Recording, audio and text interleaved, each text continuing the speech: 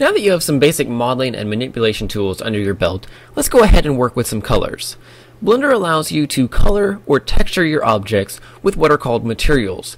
And materials are a sh basically shader system that allow you to adjust the colors, specularity, and things like that of your model. So working with the default cube here, we can go over to one of the new properties panels that we've not yet explored. And the one that we want is the one with the small red circle here.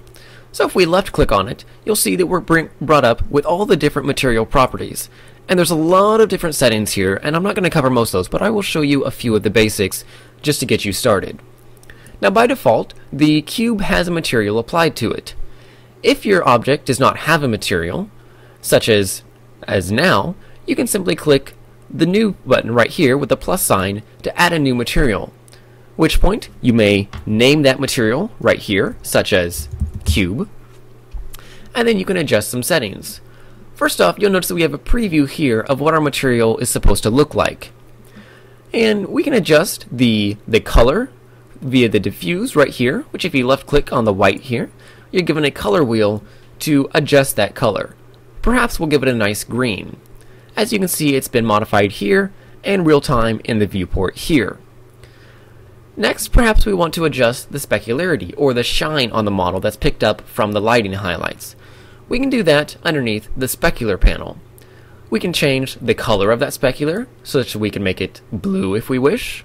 We can increase the intensity, and we can increase the hardness or the, the softness of this model. So the lower the hardness, the softer this highlight will be. The hard, harder or the higher the hardness, the sharper it'll be. It's good to use high value for things like glass and metal, and very soft values for very soft objects such as cloth, clothing, and things like that.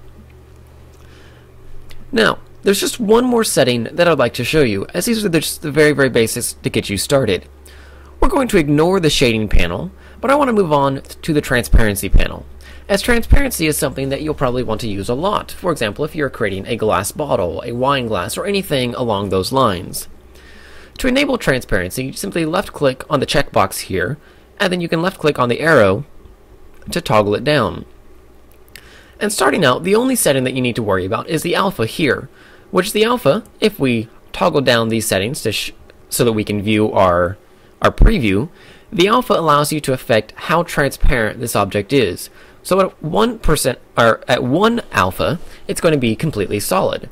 But if we change that down by left click and dragging on the slider to say 0.5, it'll be 50% transparent, or at 0, 100% transparent.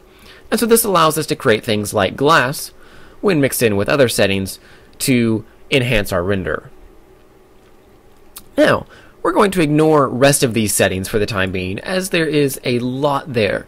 So I highly suggest you go ahead and play around with some colors and the shading and the specular with for the and even transparency.